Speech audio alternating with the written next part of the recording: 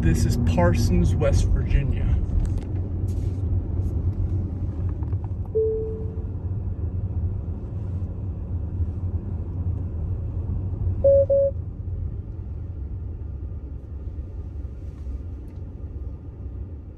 I think this is the main part of downtown. Well, maybe that was it. Because this is basically nothing else. So that's basically at Parsons, West Virginia. There's not much here. Continue for 15 miles. 15 miles.